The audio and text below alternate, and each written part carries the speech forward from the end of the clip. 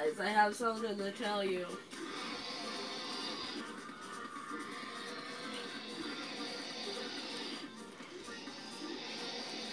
No, you're gone.